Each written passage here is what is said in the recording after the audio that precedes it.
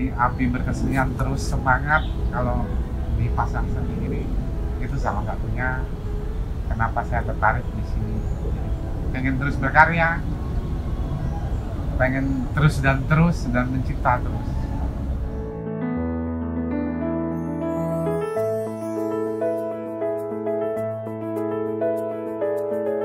Saya debut Derman Effendi ini.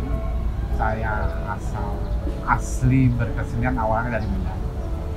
Terus ingin terus berkesenian pengen tahu berkesenian lebih dalam saya merantau ke Jakarta.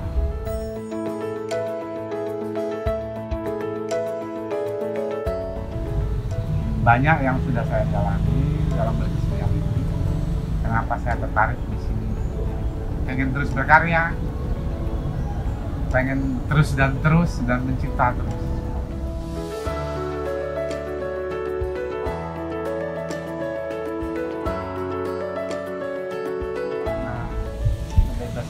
berkarya nggak ada batas.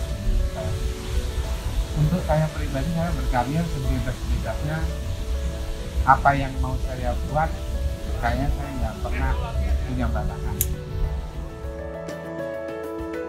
Ya kalau menurut saya ya melukis ya melukis saja. Apa yang mau kita rasakan apa yang mau kita buat buat sebebas-bebasnya tanpa batas.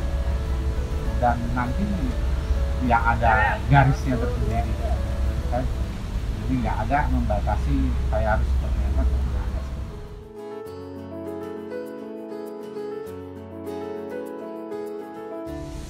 Ya itu tadi. Jadi setelah berjalan semua saya melihat Suryani. Saya suka. Saya bisa menikmati. Tanpa sadar saya sudah melompat ke sana. Saya sudah mempelajari itu tanpa sadar masuk ke situ dan saya menikmati. Karena saya menikmati itu nggak butuh waktu lama. Nah, jadi um, itu saya bisa masuk ke situ dan nggak butuh waktu lama saya udah bisa. Ya nggak ahli tapi saya udah bisa. Udah bisa menikmati udah bisa melakukan. Udah bisa bicara dalam nah nanti dalam perjalanan tanpa sadar saya udah melihat ada gaya lain yang saya suka. Nah, saya gampang tertarik dengan itu dengan apa yang belum pernah saya lihat. Apa yang mengganggu pikiran saya itu gampang tertarik. Nah itu tanpa sadar saya bisa langsung masuk ke situ melompat ke situ.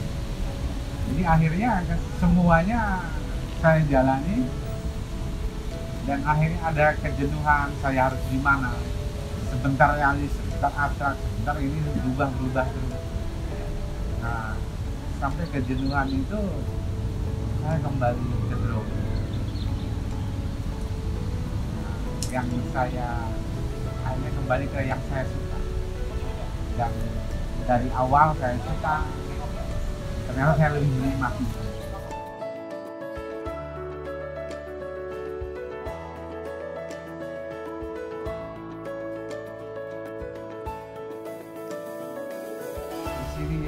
saya membuat ornamen bukan yang berbeda itu ornamen mungkin ada. Dan memang terkesan yang sudah ada itu kalau karena ini sudah dipindahkan ini kan ini sebenarnya ukiran. Ukiran bukan batik. Ini ukiran ornamen ukiran yang ada di rumah. Sudah dikatakan. Jadi terlihat seperti itu. Nah di sini itu ukiran ini kadang dalam satu gambar ini saya nggak menampilkan. Sebenarnya ini bukan objek utamanya itu bukan gambar yang saya tampilkan. Yang objek utamanya itu di dalam gambar itu pesannya itu ada warisan nenek moyang kita yaitu ukiran ornamen-ornamen tadi ya itu dalam satu lukisan itu bisa tiga ornamen nah, dari adat di Indonesia. Dari rumah adat di Indonesia bisa lima.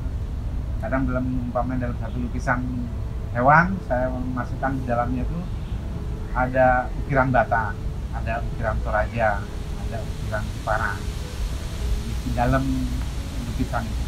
Hmm, ya seperti tato tapi di dalamnya itu ada bukan tato seperti biasa kayak tribal atau bukan itu sebenarnya ukiran warisan dari nenek kita yang ingin saya sampaikan lagi bahwa kita juga punya karya yang hebat tapi saya kemas ulang dengan ya mungkin yang saya jalani.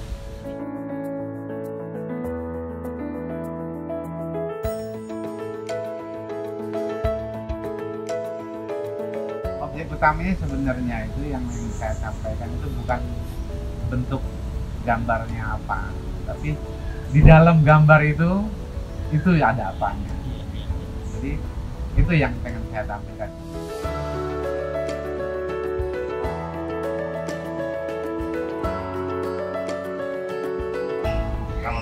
yang mereka angkat makanya bikin itu.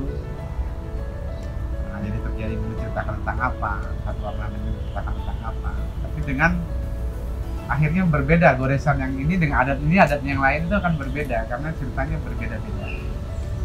Nah itu yang membuat saya menarik. Akhirnya saya ambil ornamennya kita itu sangat kaya. Dengan bentuk-bentuk yang nggak disadari dan kadang juga nah akhirnya saya fokus ke situ. Jadi saya mempelajari ornamen. Setiap rumah adat di Indonesia ini saya lihat di buku saya sekarang di Google bentuk-bentuknya seperti apa. Yang itu yang saya pelajari. Dan maksudnya apa? Jadi kadang satu bentuk itu maksudnya apa? Tentang alam ada tentang kemanusiaan ada tentang timbal balik ya apalah itu mereka simbol-simbol gitu.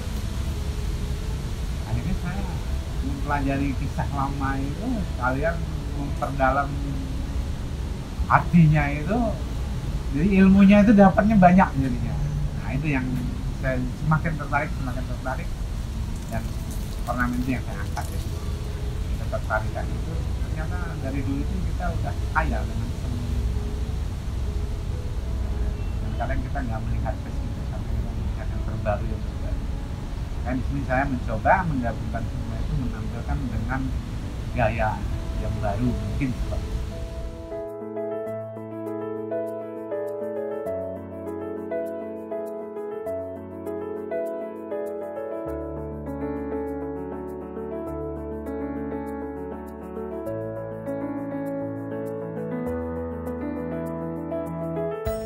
kita itu nenek moyang kita itu orang sangat jenius bisa menciptakan satu garis dibentuk menjadi filosofi filosofi yang mereka lewati hari menjadi pesan untuk ke depannya generasi dalam bentuk warna dan itu sangat indah.